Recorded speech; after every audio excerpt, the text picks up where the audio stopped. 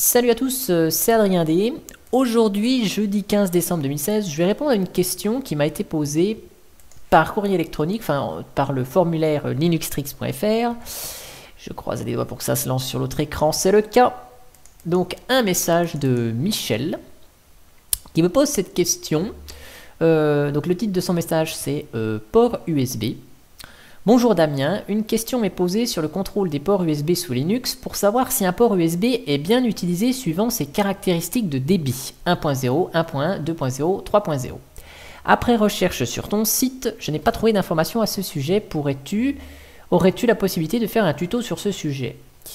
C'est signé Michel. Donc, eh ben, Michel, on va répondre à ta petite question, n'est-ce pas?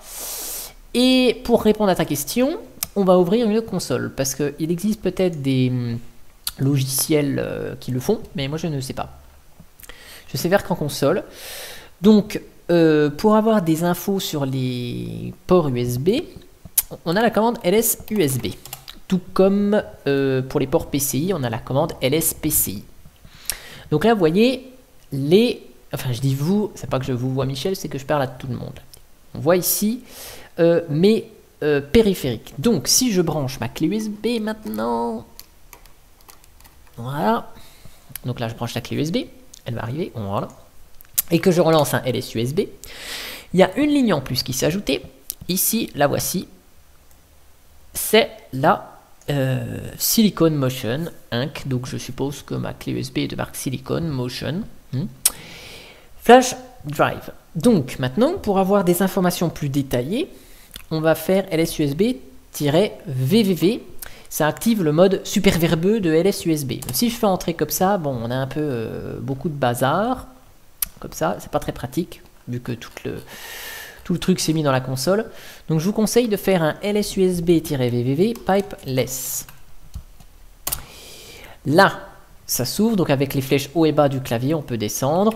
Et là, pour rechercher, on fait slash silicone enfin, ou slash, et puis un nom de la clé USB. Donc moi c'était de marque Silicon.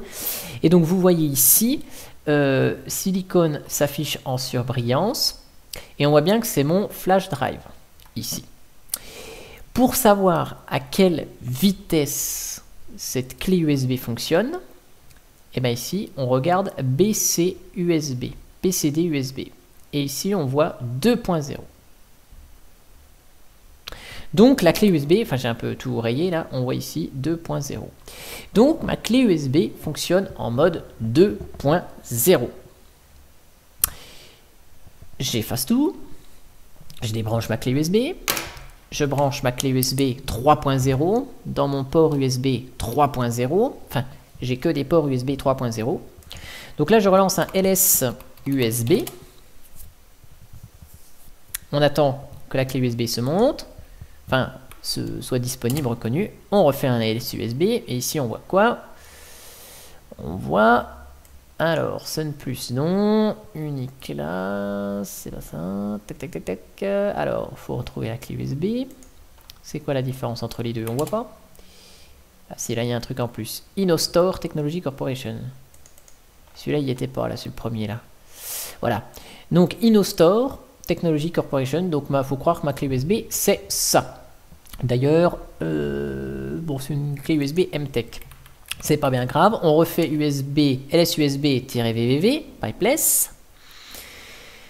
Et donc, je cherche de la même façon InnoStore. Donc, slash InnoStore. Voilà. Et on voit ici que InnoStore, c'est ma clé USB.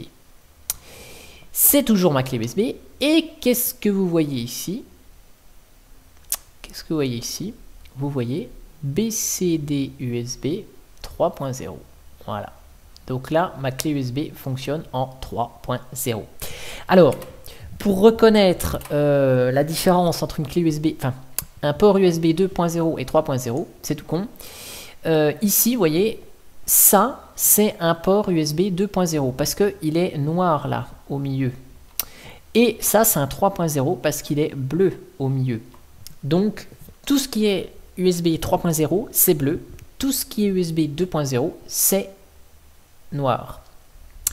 Si vous branchez une clé USB 2.0 dans un port USB 3.0, ça fonctionnera en 2.0. Si vous branchez une clé USB 2.0 dans un port 3.0, euh, ça c'est ce que je viens de dire, ça fonctionne en vitesse 2.0. Et si on branche une clé USB 3.0 dans un port USB 2.0, ça fonctionnera en 2.0 aussi en fait. C'est le, plus petit qui, euh, qui, est restrictif si vous voulez. Euh, de la même manière que quand vous branchez un disque dur SATA 2 dans un port SATA 3, ça marche en SATA 2. Et inversement, vous branchez un disque dur SATA 3 dans un port SATA 2, ça va en SATA 2. C'est le plus petit euh, débit, la plus petite norme qui, euh, bah, du coup, qui est appliquée, puisque euh, on ne peut pas aller, dans le cas de l'USB 3.0, bah, on ne peut pas aller à la vitesse 3.0 si on a un des deux qui n'est compatible que 2.0. Voilà, donc j'espère que ça répond à la question de Michel qui m'a posé ça par mail. Je vais faire un petit, un petit récapitulatif sur linuxtrix.fr dans la partie blog pour illustrer, enfin pour expliquer les petites manips que j'ai faites euh, durant cette vidéo. Voilà, donc j'espère que ça a répondu à la question et moi je vous dis à bientôt pour une prochaine vidéo. Allez, ciao